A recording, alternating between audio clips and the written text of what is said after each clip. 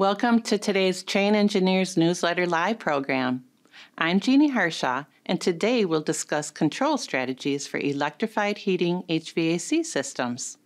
We'll start with some of the drivers for electrified HVAC systems, then we'll move into specific system configurations and dive into operating modes and control sequences, including Guideline 36 and defrost management. And then we'll close with an overview of tools you can leverage to design chiller heater systems. To cover this topic today, we have three guests Rick Heiden, a Trane systems development engineer, Brian Kirkman, an applied solutions engineer, and Ken Pruner, our design assist project manager. So, Rick, can you get us started? Why electrify building heating systems? That curiosity alone may have drawn you to this ENL. The answer to that question lies in the definition of the word decarbonization. Decarbonization relates to the reduction of greenhouse gas emissions released into the atmosphere. Reducing or eliminating carbon emissions into the atmosphere is critical to us meeting our climate goals. Why are we talking about decarbonizing the built environment? The reason the built environment is getting so much attention is because it is estimated that 40% of annual global CO2 emissions comes from the built environment, and HVAC accounts for roughly half of a building's energy use. Much like transitioning cars from gas to electric, we must start to think about decarbonizing buildings as part of the overall solution to addressing rising greenhouse gas emissions. As you think about decarbonizing, we know that you must grapple with confusing regulations, commitments, frameworks, certifications, and terms. Many states and local municipalities have taken on carbon reduction strategies on their own. As you think about what all of this means for your building, it's important to ensure that you follow the right guidelines and most updated federal, state, and local regulations. Decarbonization goals and regulations typically require emission reductions by scope. Scope 1 emissions are direct on-site emissions, usually due to burning fuels, on-site, by fleet. Scope 2 emissions are emissions associated with energy and utility purchases to operate the business. It includes electricity and steam. Scope 3 emissions are emissions from the value chain related to all of the entity's activities. These are not directly controlled by the entity itself. Now, when we look at solutions, you see that Scope 1 is addressed through refrigerant management and electrification. Scope 2 is addressed through energy efficiency and renewables. And Scope 3 is addressed through reductions in embodied carbon. When we use the term decarbonization, we are referring to the combination of these solutions. Now today we're going to focus on electrification to reduce Scope 1 emissions and specifically electrified heating systems. Taking a step back, electrified heating system in some form has been used in buildings for quite some time. In response to the 1970s oil embargo, U.S. electric utilities incentivized heating buildings using waste heat from electric transformers and lighting. Remnants of these incentives can be seen in the beautiful nighttime skylines of today. Common electrified heating systems used in buildings today include electric resistance, such as baseboard heaters and VAV reheat coils, as well as electric boilers, which are all 100% efficient. That sounds good, but there are much more efficient and sustainable means to heat spaces, and one of the most efficient is by using compressors and heat pumps. Heat pumps are typically at least three times more efficient than electric resistance heating. And in growing numbers, regulators, energy providers, and most importantly, customers are saying use a heat pump.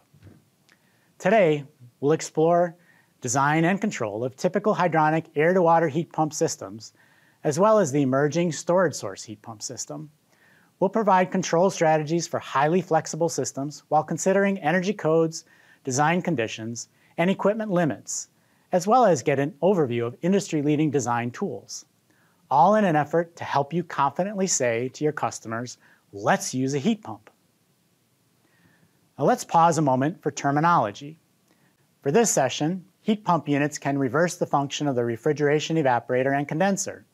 Chiller heater units can control the either hot or chilled water temperature and are also known as water-to-water -water heat pumps and heat recovery units control the chilled water temperature while producing as much beneficial heating as possible. Thermal energy storage allows energy to be collected at one time and dispatched at another. Coefficient of performance, or COP, refers to the ratio of the useful energy out of a system to the work input. Higher is better. A building automation system, or BAS, controls system operating modes along carefully designed sequences that are informed by points of information. System points include variable data such as return hot water temperature and equipment communications such as defrost delay. General considerations for heat pump applications include building type and size, space constraints, and access to heat sources such as groundwater or wastewater or the air. When using air source heat pumps, the outdoor climate is particularly important to selecting a system type as we'll discuss later.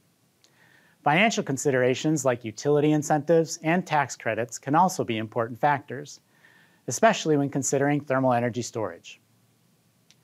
Stepping back a bit, ground source systems are very efficient, but locating a heat source can be challenging and expensive. Air source systems require greater outside real estate and have limits at low outdoor temperatures, but have a near unlimited heat source. Storage source heat pump systems enable heating in cold climates by sourcing heat from the building and the air, which also enables downsizing the air-to-water heat pumps. Design resources are available for each system type. Note that the storage source heat pump system can be more complicated to control, which is one of the reasons we are here today. And again, today we are going to focus on air-to-water heat pump and stored source heat pump system control. Using air as the energy source and sink, air-to-water heat pump systems can be arranged in a dual-feed, decoupled four-pipe distribution system. The system consists of heating and cooling distribution loops that are decoupled from the plant. In this case, the plant includes three air-to-water heat pumps, each with a fluid pump, tempering line, and a highly flexible valving arrangement. The air-to-water heat pumps can all be used for heating, or all for cooling, or two for heating, and one for cooling. This system is very flexible and also contains hot and chilled water buffer tanks and optionally could include an auxiliary boiler or heat recovery unit. Its yoga instructor would be very proud. A comprehensive cooling and heating control strategy is needed to maintain occupant comfort, minimize energy consumption, and ensure reliable and sustainable operation. System control must account for equipment limits as well as occupant comfort. For instance, a typical air-to-water heat pump operating map is shown, demonstrating the achievable hot water leaving temperature versus the ambient temperature range. The area inside the lines indicates the heating operating map. You can see that at about 45 degrees ambient temperature, the achievable hot water temperature decreases from around 140 degrees down to about 90 degrees at 0 degrees ambient temperature and typical air-to-water heat pumps are unable to operate below zero degree ambient temperatures, after which auxiliary heating is required. Typical BAS systems enable auxiliary heat starting at 5 or 10 degree ambient temperature. In addition, at times, air-to-water heat pumps must defrost the outdoor coil, which in turn chills the supply water for several minutes. Loop volume, discussed in a prior ENL, is an important design mitigation tactic for this event and enabling BAS defrost delay requests further ensures both occupant comfort and machine reliability. For these and other situations, the equipment and BAS must coordinate operation. Next, Brian will review operating modes essential to achieving reliable control strategies. Thanks, Rick.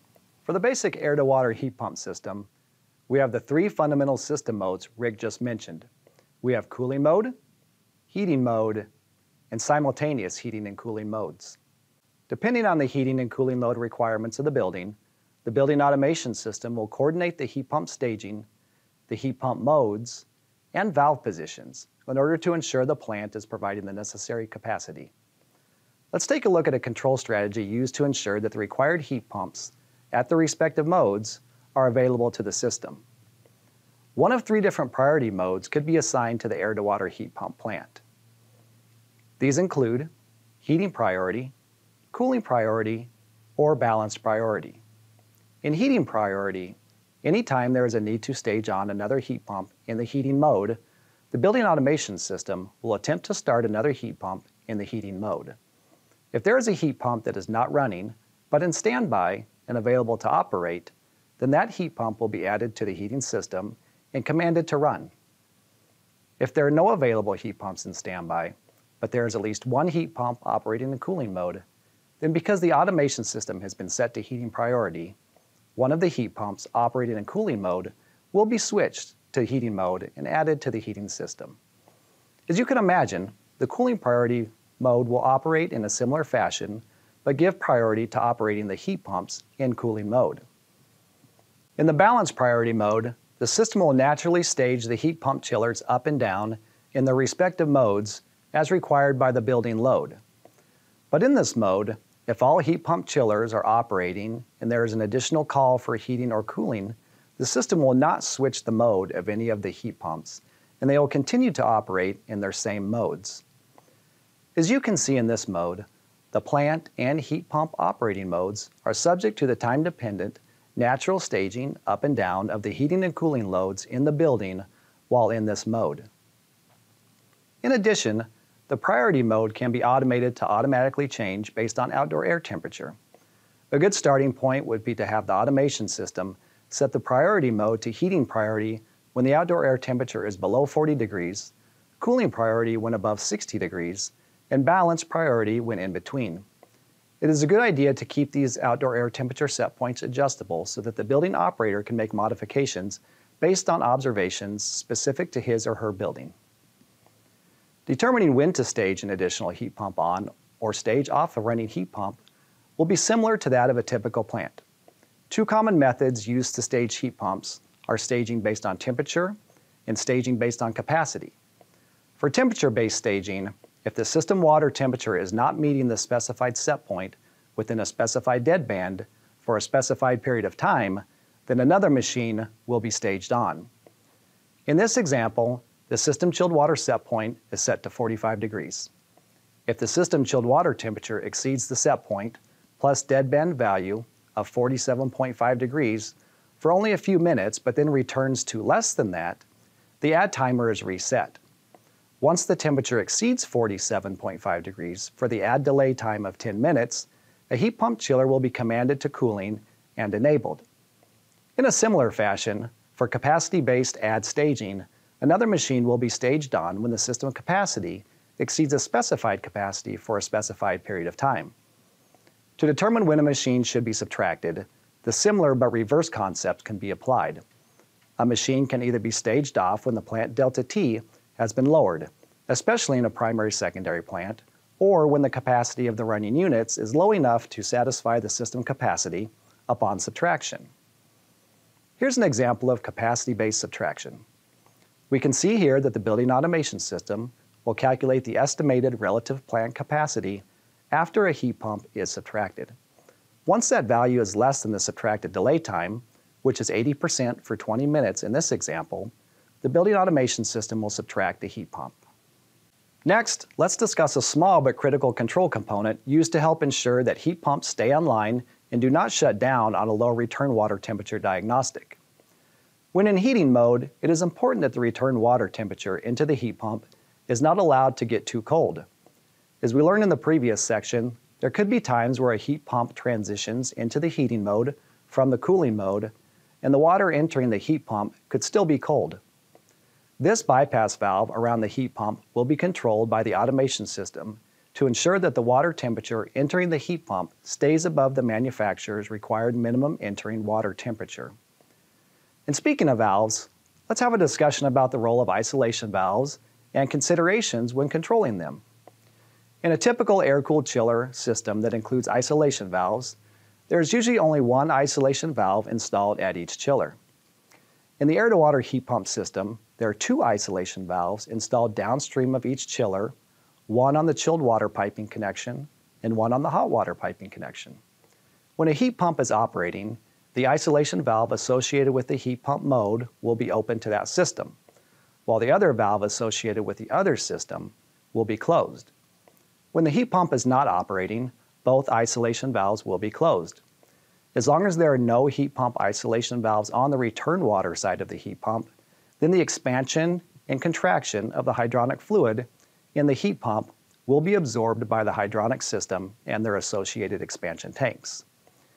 And though our recommendation is that only downstream isolation valves are needed, as shown here, owners, designers, and engineers will sometimes prefer to install isolation valves both upstream and downstream of the heat pump in order to further isolate the chilled and hot water systems. If the system is to include both upstream and downstream isolation valves, the control sequence of operation must be specified to ensure that a heat pump isolation valve is always open to either the hot or chilled water system so that the water in the heat pump and piping can expand or contract as it heats or cools. Let's move on to some additional configurations that can be applied to the air-to-water heat pump system. In certain climates or system layouts, auxiliary heating in the form of gas or electric boilers may be installed as part of the system design. Or perhaps heat pumps are being added in a retrofit project to meet decarbonization goals, but an existing gas boiler is being left in place. There are various reasons for using auxiliary heat, which we won't go into here, but more details about auxiliary heating can be found in a previous ENL on electrified heating. Regardless of the reason for using auxiliary heat, the auxiliary heating can still be staged in the same fashion as a traditional plant. Staging options include staging based on needed capacity, staging based on outdoor air temperature, or staging based on net carbon reduction, which is a function of the efficiency of the heat pump at the current outdoor air temperature conditions and the current cleanliness and efficiency of the grid. Another configuration to consider in the air-to-water heat pump system is the use of a dedicated heat recovery chiller. If a building encounters enough coincidental load, it may be beneficial to use a heat recovery chiller. When to consider using this option is again discussed in detail in the previous ENL on electrification of heat. You might be surprised to find that the many benefits of using a heat recovery chiller, even when the coincidental loads are not very high, might be enough to consider it. So when a water-to-water -water heat recovery chiller is applied in an air-to-water -water heat pump system, the heat recovery chiller will need to be staged like any other chiller. Whenever there is a call for simultaneous heating and cooling, the heat recovery chiller should be staged on. If either the heating or cooling system require more capacity while the heat recovery chiller is in use, then an additional heat pump will be staged on in its respective mode, just as previously discussed throughout this section. It should also be pointed out that the heat recovery chiller, when operating, will lower the return water temperature to the main cooling plant and raise it to the heating plant. If the primary water flow is operated at a constant design flow, then the heat pumps will not be allowed to fully load. If the capacity of the heat recovery chiller is small compared to that of the heat pumps, then this consideration may be negligible. But at larger heat recovery chiller design capacities, Control strategies might need to be put into place to increase the flow through the primary loop when operating the heat recovery chiller in order to fully load the heat pump chillers. Alternatively, dedicated heat recovery chillers can be arranged in the system to be preferentially loaded, as opposed to side stream so as not to lower the return water temperature to the heat pumps. This topic is discussed in more detail in previously published Trane Engineers newsletters and application manuals. Last, Let's consider one more variation to the air-to-water heat pump system configuration, this time applying a cooling-only air-cooled chiller to the system. If a building has considerable cooling-only operating hours, it will most likely be more cost-effective, both in first costs and operating costs, to designate one or more chillers to be cooling-only, as a cooling-only chiller will be more efficient than a heat pump chiller. As you can probably see by now, understanding the staging scenarios of when to stage and when not to stage the various components of the air-to-water heat pump system is key to designing a plant control sequence that is both reliable and resilient. In this cooling-only example, the cooling-only chiller should be designated as the lead cooling chiller and called upon to run first on a call for cooling under normal conditions. As with any of the scenarios that we've just considered, Having a building automation system with a proven and tested plant control application is critical. Standard plant control sequences that consider failure recovery, equipment rotation, and chiller sequencing should be the foundation for reliable air-to-water heat pump system control. Building upon this foundation, the various staging sequences that have been discussed can be added in order to provide an effective and resilient system control sequence. Let's summarize what we just learned. Give priority to the heating or cooling modes of the heat pumps based on outdoor air temperature or other criteria as determined by the operation of the building. Maintain the manufacturer's minimum return water temperature for heat pumps operating in the heating mode. Ensure that water always has a path to expand and contract. And last, consider additional equipment configurations for increased flexibility and efficiency. Now that we've covered the basics of air-to-water heat pump control, let's see if we can find some other creative ways to provide electrified heating with even more flexible and innovative systems. Rick, can you help us out? I sure can, Brian. Thank you for providing these awesome control strategies for air-to-water heat pump systems. These will go a long way towards maintaining sustainable systems. Now, as we mentioned earlier, air-to-water heat pumps have low ambient temperature limits, and in addition, finding enough space on a site can be problematic, especially in dense urban environments. One solution to these issues comes through leveraging heat within the building using thermal energy storage in a stored source heat pump system. This system enables a broader operating range, including higher hot water temperatures at much lower outdoor ambient temperatures. Compared to an air-to-water heat pump system, a stored source heat pump system uses both the outdoor air and the building as an energy source and sink.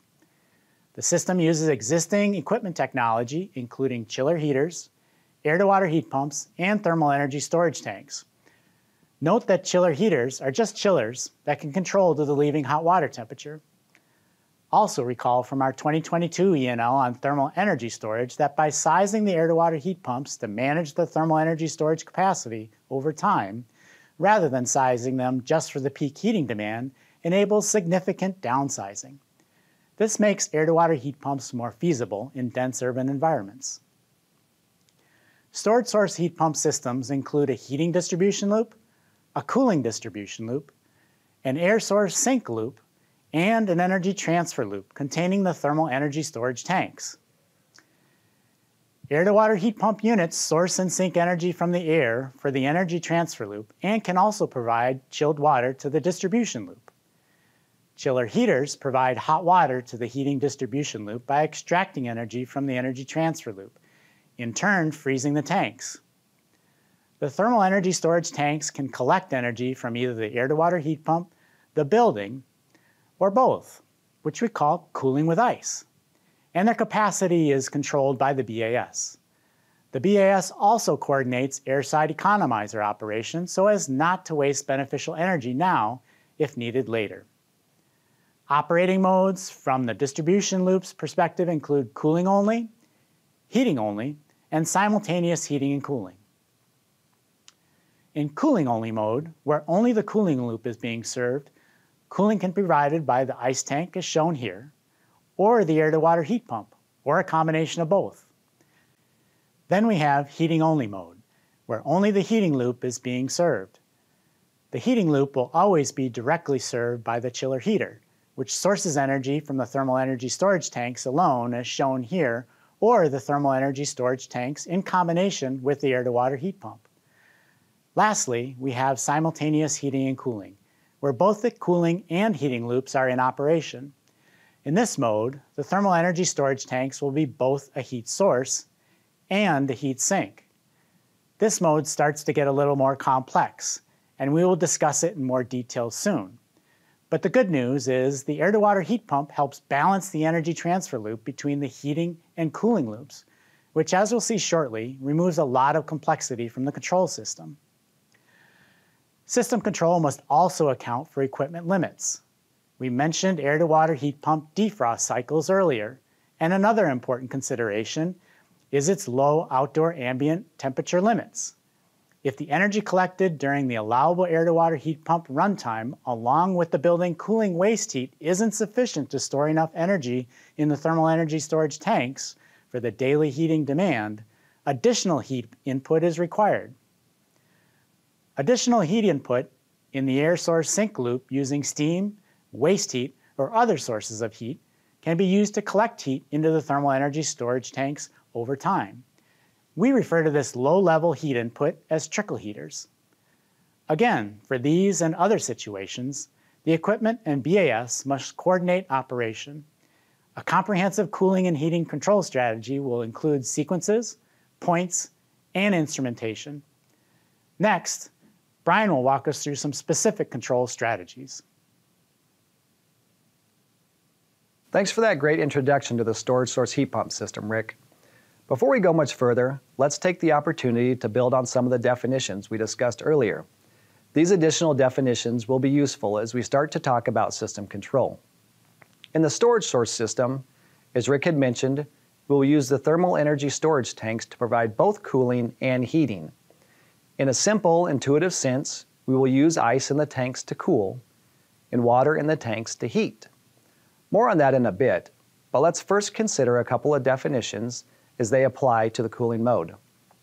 From the cooling perspective, we will charge the tanks when we make ice, and we will discharge the ice from the tanks when we melt the ice to provide cooling. Conversely, from a heating perspective, when we melt the ice, we collect heat, and when we extract the heat energy out of the water, in turn creating ice, we dispatch heat. Though these two sets of definitions are the same, since we are always either sinking or sourcing heat, no matter the scenario, for the sake of clarity, it helps to have the two different sets of definitions when talking about a storage source heat pump system. To help solidify these definitions and get us ready to start thinking about storage source heat pump, let's consider a traditional ice storage system used for cooling. At night, when the building is unoccupied and the system is ready to start making ice in the tanks, say from 9 p.m. to sometime early the next morning, it's not uncommon to think of this process as storing energy in the ice tanks. We are, by all accounts, using electrical energy to make ice, so it would seem logical that we are storing this energy. Continuing with this idea, then during the day, when cooling the building, we must be using that energy from the ice to cool the building. But to help us better understand the system, it's helpful to consider energy in terms of transferring heat which is what we are most often doing in HVAC systems. So let's review our ice system again, this time starting at 7 a.m. with the full tank of ice. As the building requires cooling, the cooling system will transfer heat energy from the building into the ice tanks, melting the ice and turning it into water. At the end of the day, ideally only a little bit of ice is left in the tank, and the tank is primarily water, indicating that all the heat energy from the building for that day is now stored in the tank. We have successfully done our job of cooling the building for the day, but now we must prepare for tomorrow's cooling. So, now at 9 p.m., when we start to make ice, we are accomplishing two things. One, we are finally rejecting the building heat that was transferred into the tanks throughout the day out into the atmosphere. And two, we are creating ice so that we are prepared to absorb tomorrow's building heat into the tanks. Thanks for following along with that example. I know it's helped me better understand storage source heat pump systems. And not to get too philosophical, but it's difficult to control what we don't understand. Rick did a great job of describing the various distribution modes earlier. In addition to those modes, we also need to consider the thermal energy storage modes to help us complete an understanding of the system control. In order to ensure that we have enough heat sink or source capacity in the tanks, we need to be able to either make ice or melt ice. So back to our definitions. First, we need to be able to actively charge or make ice with the intent to cool. This is done by running the air-to-water heat pump in ice-making mode. Next, we need to be able to actively collect or melt ice with the intent to heat. This is done by either running the air-to-water heat pump in heating mode or operating the trickle heater. Of course, as a result of heating or cooling the building, we will also be passively charging or collecting. From the perspective of the building loads, we would say that we are dispatching water to heat or discharging ice to cool. Charging and collecting can be thought of as active modes, as commanded by the automation system, to either make or melt ice using a piece of equipment. In dispatching and discharging are purely the result of the system loads at a given point in time. The rate at which the system is dispatching or discharging will need to be considered when determining when to actively charge or collect, which we'll discuss in more detail soon. But before we get there, let's discuss the energy transfer loop, the portion of the system that ties all the pieces together. The energy transfer loop, along with 32 degree ice from the tanks, help to give us an anchor for our system. Let's look at a simultaneous heating and cooling example to help bring it all together. Starting with the water leaving the ice tanks, the water is at a blended 42 degrees. After the cooling loop, we can see that the blended temperature in the energy transfer loop has been raised to 54 degrees. meaning that heat energy has been added to the loop. The water will then enter the chiller heaters, and after leaving the chiller heaters, the temperature will have dropped down to 49 degrees. This makes sense, as heat was absorbed from the energy transfer loop, pumped up in temperature through the chiller heaters, and transferred to the heating distribution loop. The 49 degree water now continues back to the thermal energy storage tanks at a temperature warm enough to melt the ice in the tanks. This tells us that the net system load is cooling dominant, which will ultimately melt the ice to provide cooling. By simply looking at the temperature entering the ice tanks, we can tell if the system is heating or cooling dominant. Let's continue to explore this as the system shifts from cooling dominant to heating dominant.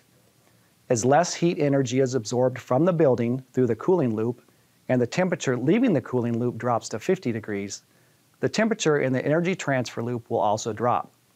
As more energy is transferred through the chiller heaters and into the heating loop, the water temperature returning to the energy transfer loop temperature will continue to drop even more, in this case down to 40 degrees. Because the thermal energy storage tanks are the anchor for the loop temperature, and the energy transfer loop is a continuous iterative transfer of energy, the return water temperature into the tanks will eventually drop below 32 degrees as we shift from cooling dominant to heating dominant. As we start to freeze the water and create ice quicker than we can melt it, we are ultimately extracting the heat out of the water. So in summary, if we are freezing the tanks, we currently require more heating than cooling. And if we are melting the tanks, we require more cooling than heating. This all comes back to 32 degrees being our anchor. There is very little control required to try to maintain a specific temperature in the energy transfer loop. The temperatures are simply a function of the energy that is being transferred between the distribution loops, the thermal energy storage tanks, and the air-to-water heat pumps or trickle heater if they are operating. With that in mind, the energy transfer loop pumps need to operate in a way to ensure that energy is being successfully transferred through the system. And there are only a few considerations to keep in mind. First, if the cooling loop is operating, the energy transfer loop pumps need to keep a slight positive flow through the decoupler. Next, the pumps need to operate to provide the design flow through the operating chiller heaters. And last, when charging or making ice, the pump should operate to provide design ice-making flow through the tanks. If any of these modes occur simultaneously, then the pump should operate to satisfy the maximum of the required flows. It should also be noted that a chiller heater maximum flow bypass can be installed if the system design would ever incorporate more flow through the energy transfer loop than the maximum design flow of the chiller heaters.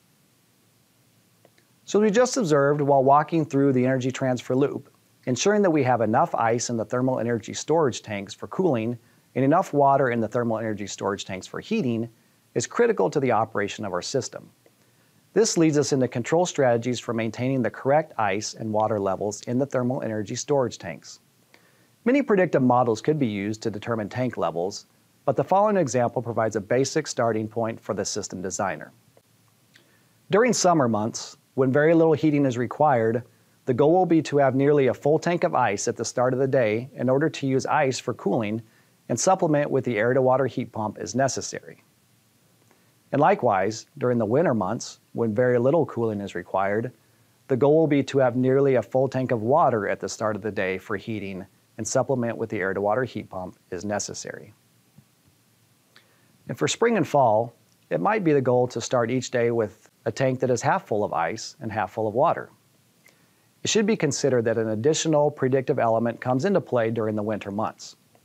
If the outside air temperature is going to be cold for an extended period of time and the air-to-water heat pump capacity is going to be limited, decisions will need to be made to determine when to operate the air-to-water heat pump along with the trickle heater to ensure that enough heating water capacity remains in the thermal energy storage tanks. Though the previous example used to determine ice level was a simple step function based on the time of year, other methods such as the following could be used.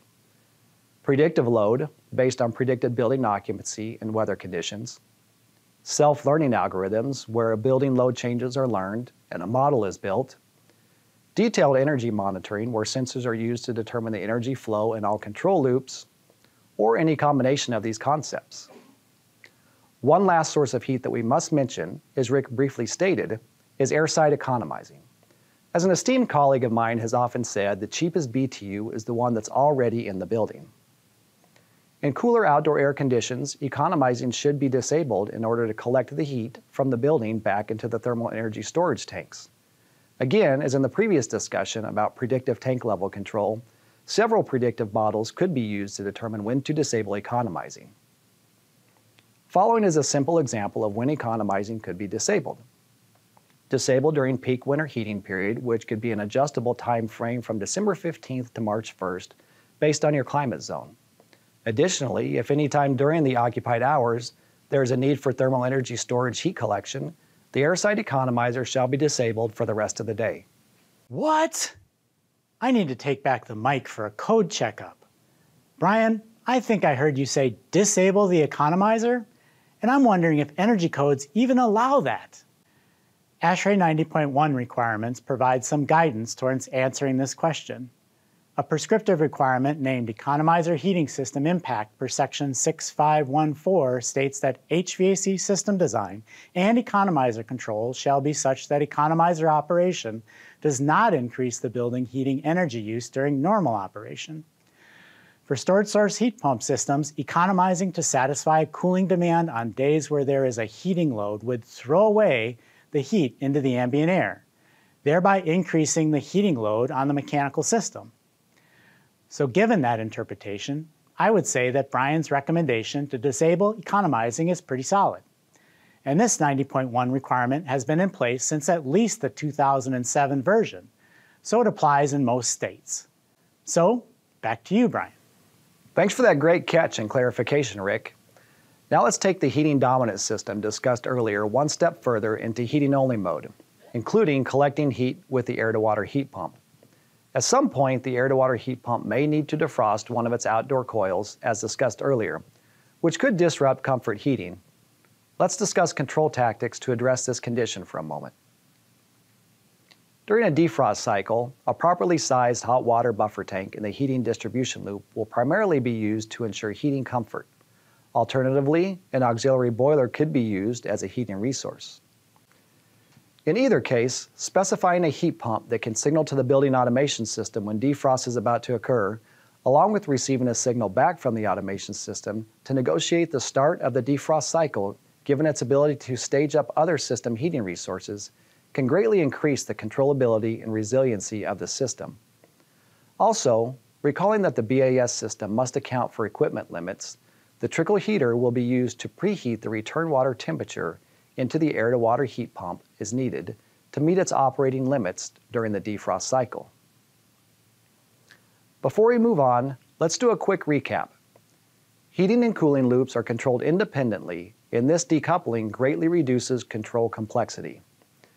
The storage source heat pump energy transfer loop and thermal storage tanks help to balance the heating and cooling loads, again, reducing controls complexity by not having to use controls to try to manage the instantaneous heat balance. Use a proven control strategy anywhere from simple to complex to control the ice level in the tanks. Now that we've learned more about the control of the storage source heat pump system, Rick is going to provide more insight around system options and selections. Thanks, Brian, for bringing clarity to what can at first seem like a complex system to control. Now that we have a handle on the system design and control, I wanted to note that the system options we mentioned earlier can also be added to the storage source heat pump system.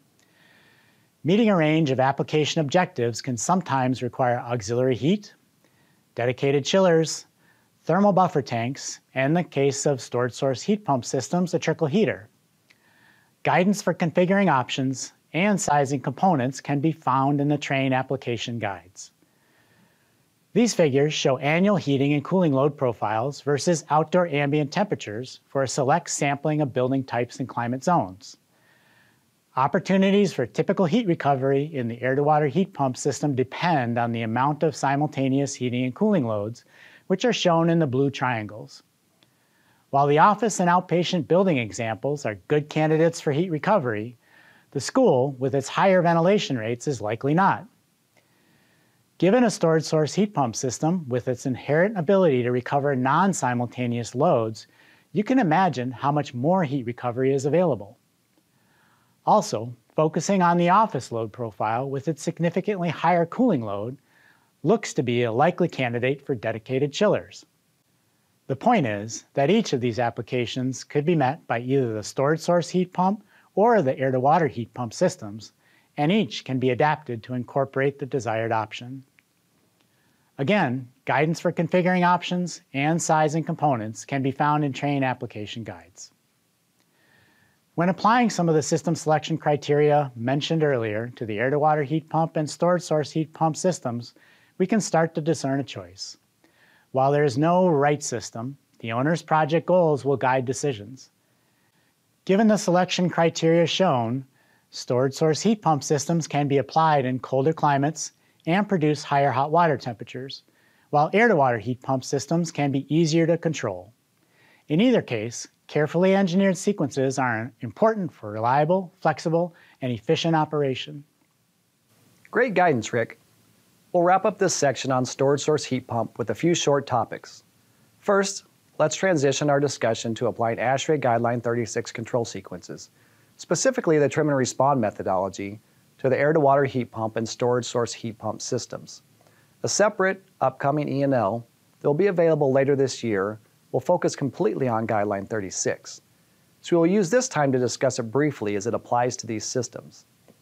As we've seen, both the air-to-water heat pump and storage source heat pump systems include traditional primary-secondary systems, so Guideline 36 pump pressure reset sequences can be applied to control variable secondary pumping systems. This can be applied in the same fashion as any traditional plant system, using water valve positions as requests to determine when to trim and when to respond the pump pressure reset. Additionally, trim and respond can be used to reset both hot and chilled water set points, either in conjunction with pump pressure reset or independently.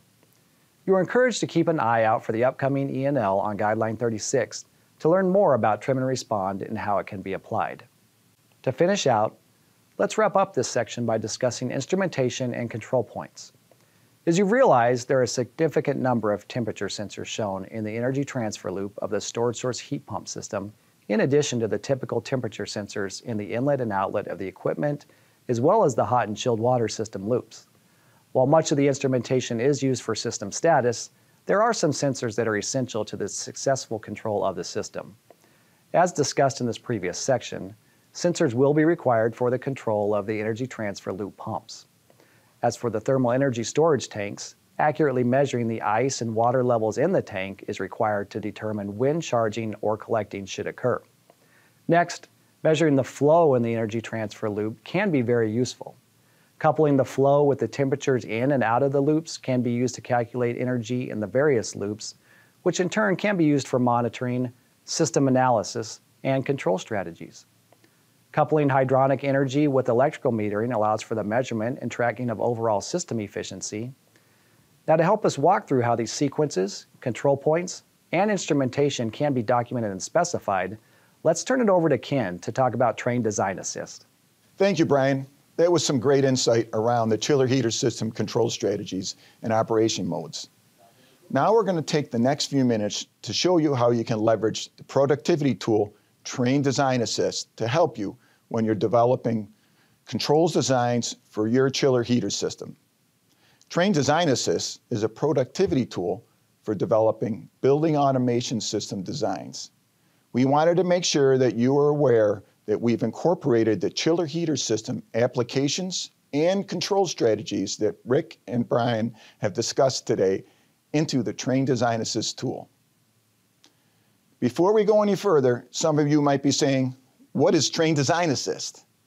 Trane Design Assist is a productivity tool developed by Trane to assist our customers when they're laying out their controls designs and strategies for their HVAC equipment, applied systems, and building spaces.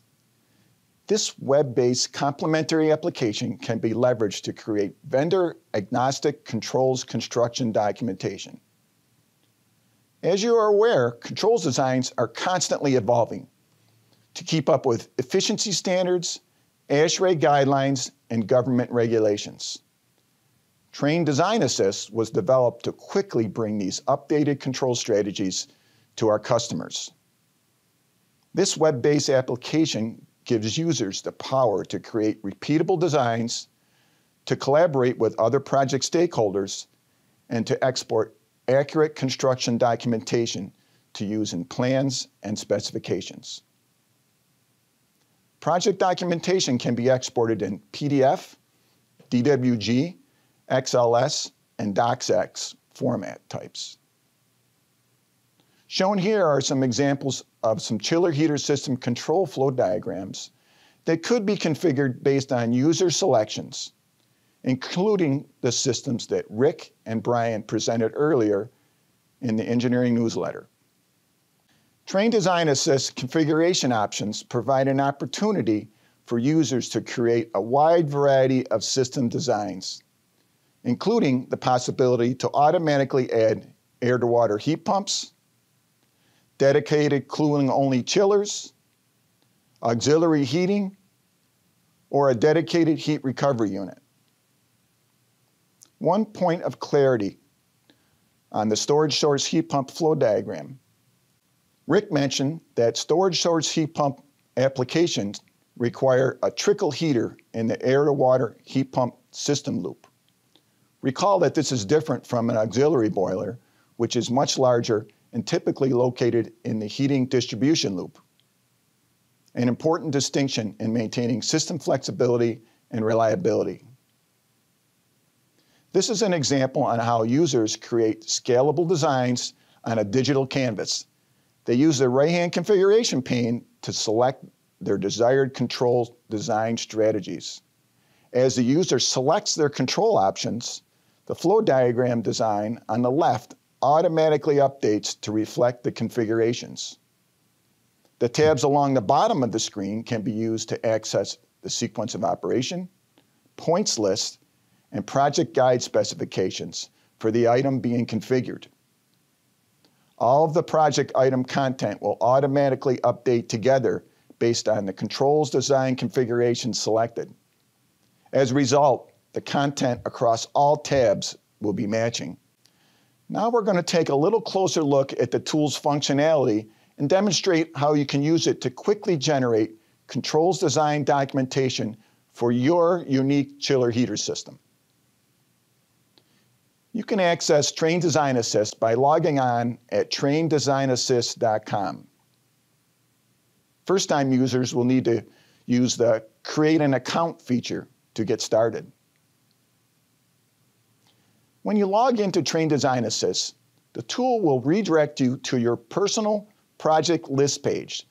This page will contain a list of all your, your existing projects. From the project list page, you can create a new project or open an existing project. When the project is opened, it will take you to the design canvas. At the top of the page, there is a design library of project items and systems available for the user to bring onto their project. The library is divided into folders to make it easier for you to locate the project item.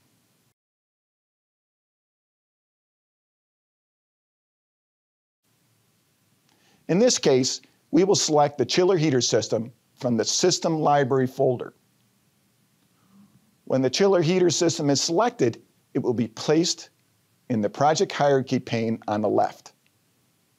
The tool will provide you with a list of components that are complementary to the system. Select the components that fit your design and drag them out onto your design canvas. As you drag these items onto the design canvas, they will also be populated into the project hierarchy pane and placed under the chiller heater system. When a system or a project item is selected on the canvas or selected in the project hierarchy pane on the left, you will notice that a configuration pane opens on the right to provide you with controls design options to configure your system. In the configuration pane for the chiller heater system, there are two chiller heater system types to choose from an air to water heat pump system or a storage source heat pump system. When you select the system type, you will notice that other controls design options start to appear in the configuration pane based on your selection. As you continue to advance down the selections in the configuration pane on the right, you will notice that there is a controls design selection for the number of heat pumps that you would like in your system. When a controls design configuration is selected, design documentation for the chiller heater system will now populate into content tabs along the bottom of the page.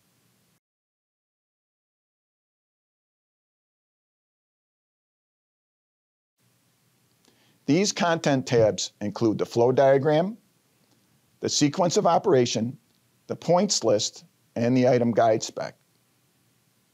Let's navigate to the flow diagram tab to see what has been created based on the configurations that have been selected. In this example, you will notice that the chiller heater plant has two air-to-water heat pump in the design. The tool currently provides a selection up to four heat pumps although more pumps could be added through the tool's customization feature. When reviewing the chiller heater flow diagram canvas, you may need to zoom out to see the entire plant. As we zoom out, you can see there is also a chilled water distribution loop and a hot water distribution loop on the canvas. As you proceed down through the configurations in the pane, Equipment and control devices will continue to populate on the flow diagram. There are design selections for a number of heat pumps desired for each of the distribution loop. In each example, a dedicated cooling-only chiller has been selected. As you can see, it was added to the chilled water distribution loop. When you navigate to the Sequence tab, you will notice that the sequences have been populated to describe how the system and the control devices are designed to operate. As you can see, there are sections on pumping strategies, equipment staging, and more. The sequence of operation for the chiller heater system contains many energy efficiency strategies, including a pump pressure optimization sequence based on ASHRAE Guideline 36, trim and respond logic. The cooling mode addition and subtraction sequences will be updated to reflect your control selections. As Brian mentioned earlier, if a cooling-only chiller option is added to the design, it will operate as the primary cooling source to satisfy the building load.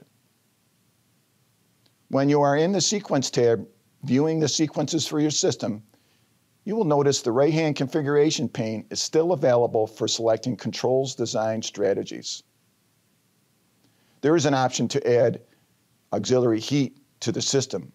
When you select it, it will be added to the auxiliary heat section into the control sequence. The configurations also provide the capability to add a dedicated heat recovery chiller. When we navigate back to the flow diagram, you will notice the auxiliary heat populated into the heating distribution loop, and the dedicated heat recovery chiller has been inserted between the two distribution loops. This was a quick overview on how you can use standard control selections from Trane Design Assist to help create your own unique chiller heater system. There may be times when your chiller heater design cannot be completed through the standard configurations.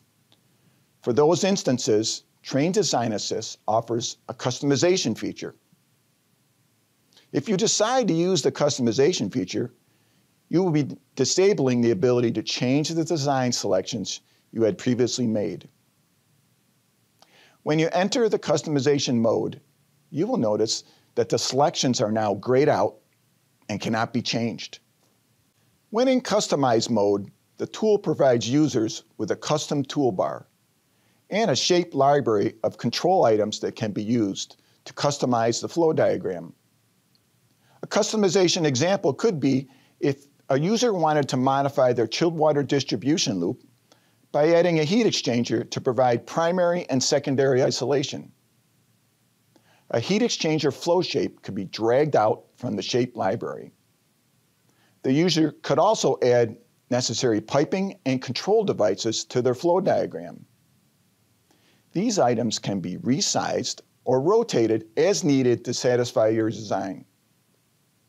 Also notice that an existing shapes on the flow diagram can be repositioned, duplicated, or deleted. Users can also add custom text to their flow diagram by using the custom text shape in the toolbar. Design documentation on other content tabs can also be customized. The existing sequence of operation wording can be modified. New sentences or entire sections can be added. Changes can be saved or discarded. Control points can be updated or added on the points list. And modifications can be made to the guide specification. This was a quick overview on how you can customize your chiller heater system design. There is also a sharing feature that has been incorporated within the application to allow users to collaborate with other project stakeholders by sharing their Trane Design Assist projects electronically back and forth with each other. When the user is on their project list page, they will be provided with a share feature that will allow them to send their project to another user to confirm their controls design selections and to help eliminate design and scope uncertainty. Other users can be invited as reviewers with a read-only copy or be allowed to perform save as of the project for editing. Okay, let's do a quick summary. As we demonstrated, Trane Design Assist can be used to quickly generate controls documentation when designing your own chiller heater system. This web-based application gives users the power to create designs, to collaborate with other project stakeholders, and to export accurate construction documentation to use in plans and specifications. As mentioned, chiller heater system applications and control strategies that are outlined in the chiller heater system application guide have been incorporated into Trane Design Assist tool to assist users when they are laying out their controls documentation. You can access Trane Design Assist by logging in at tranedesignassist.com. For more information on Trane Design Assist, please take a few minutes to view the YouTube video that covers some key features and benefits. Also available online is a step-by-step self-paced training course. It is posted on trane.com, so it is available to both Trane employees and non-Trane users. An in-tool help document is available to assist you through the design process. Back to you, Rick. Thank you, Ken, for the thorough introduction to this very interesting productivity tool. Well, as we mentioned at the outset of this ENL, customers are asking to use heat pumps, and regulators and utilities are increasingly incentivizing them to decarbonize buildings. Today, we've covered a lot of ground towards simplifying some of the more complicated heat pump systems with innovative control strategies. These strategies will ensure high-performing systems using relatively simple control logic, as well as highly reliable systems by adhering to equipment limitations. And our overview of Trane Design Assist demonstrates that it has significant potential to reduce controls design time and improve the quality of design documentation. So that's our program today. We hope you found it a helpful way to learn about control strategies for electrified chiller heater systems. Please fill out a survey and let us know what you thought of today's program. As always, the bibliography included in your handout provides more information on where to find a number of resources related to today's topic, including the application guide we referenced. Or contact your local account manager for specific information on Trane systems, equipment, controls, and services. For those of you viewing in person, please ask your local host about details for the upcoming Engineers Newsletter Live programs. The program lineup can also be located at www.trane.com/enl. Finally, for those of you seeking continuing education credit, check out the newest online courses at our self-paced learning portal. Thanks for joining us today. We look forward to seeing you next time.